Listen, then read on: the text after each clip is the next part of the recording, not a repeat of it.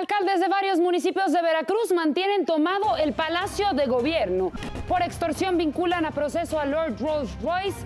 Localizan los cuerpos sin vida de cuatro presuntos asaltantes en la México-Toluca y más de 15 mil damnificados por el sismo registrado en Italia. Bienvenidos, esto es en una hora.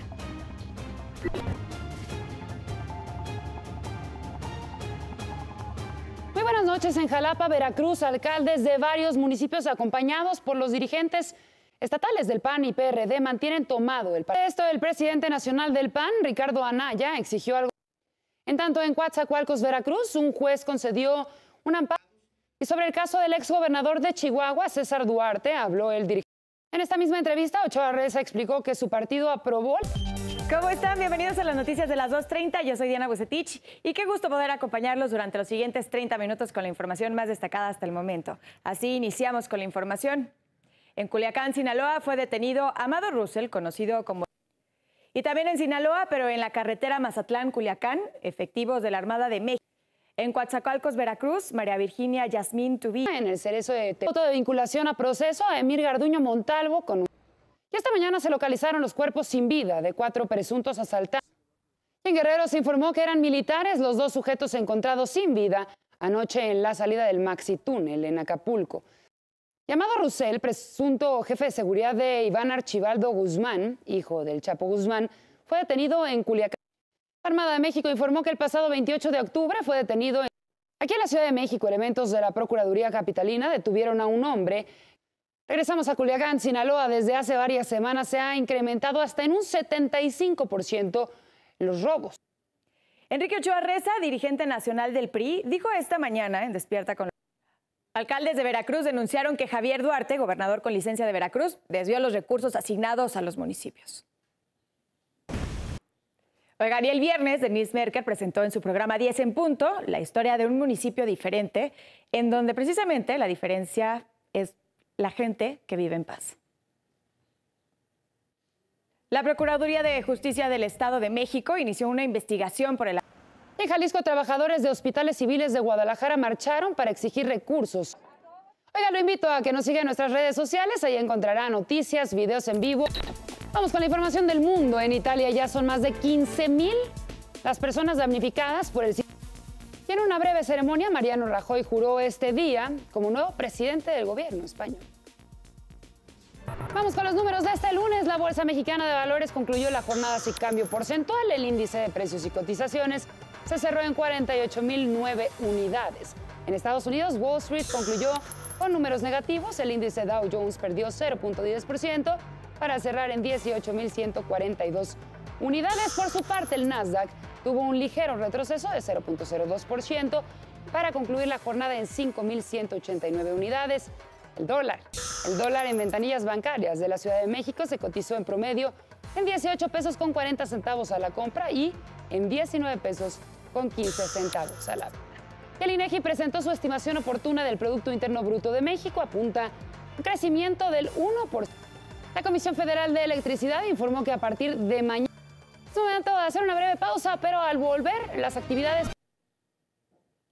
Oigan, y nosotros nos vamos a un corte comercial y regresamos con más información. Esto es Foro TV, no le cambie.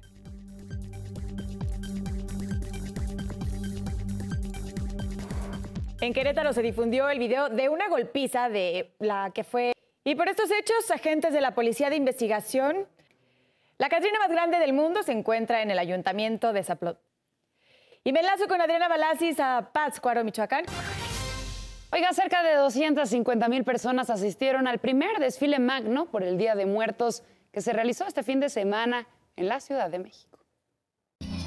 Bueno, y en el Zócalo de la Ciudad de México se instaló la ofrenda monumental con motivo y la Noche de los Muertos en bicicleta, realizada también aquí en la y ahora vamos a Pátzcuaro, Michoacán, donde está todo listo ya para las celebraciones del Día de Muertos. Allá está mi compañera Adriana Balasis, a quien saludo con mucho gusto. Muy buenas noches, Adriana, adelante. Exhibición de altares en el exconvento de San Pablo con motivo precisamente de... En Chiapas, una de las tradiciones más arraigadas durante el Día de Muertos.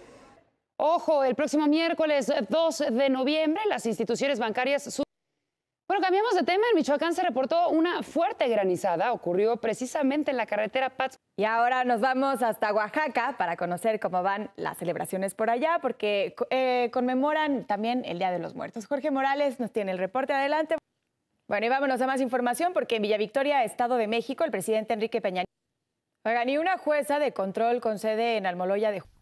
Oigan, y los invitamos a que nos sigan en nuestras redes sociales, ahí en y no solo allá, aquí en la Ciudad de México también se registró una importante lluvia con caída. Pero con el pronóstico del tiempo ya está aquí Maite Carranco. Adelante, muy buenas noches. Es momento de echar un vistazo a las calles de la Ciudad de México con Alejandra Guayo, que nos tiene información. Muy buenas noches, Ale, adelante. Hola Gil, muy buenas noches. Pues Y ahora vamos con Enrique Martínez con más información desde las calles de la ciudad. Enrique, muy buenas noches, adelante. Gracias, Jill. Buenas noches. Gusto en saludar. Vamos con la información de ciencia y tecnología. Uber podría contar con un novedoso servicio de transportación aérea en zonas urbanas a través de un documento. Y Facebook se unió a la celebración de Halloween o el Día de las Brujas. Permitió un par de cambios en su plataforma para alentar a celebrar a sus... Y Google sigue con buenas noticias en materia económica al hacer el balance del tercer trimestre de 2016, el holding. Y en la probadita de esta noche, senderistas tienen un encuentro cercano con un oso grizzly y lo graban. Hoy en Villa Victoria, Estado de México, el presidente Enrique Peña Nieto entregó instalaciones deportivas. Ahí habló de los eventos que han ayudado a promover a México. Y esta noche el programa Alebrijes Águila o Sol presentará entrevista completa la podrá ver esta noche a las 11.30 por las estrellas. Oiga, una pareja de viudos le dio una nueva oportunidad al amor, contrajo matrimonio en Actopan, Veracruz. Esta es su historia. Hasta aquí la información. Yo soy Diana Bucetich y continúo con la programación de Foro TV enseguida a las 3 con Ana Paula Ordorica. Gracias, buenas tardes y feliz inicio de semana.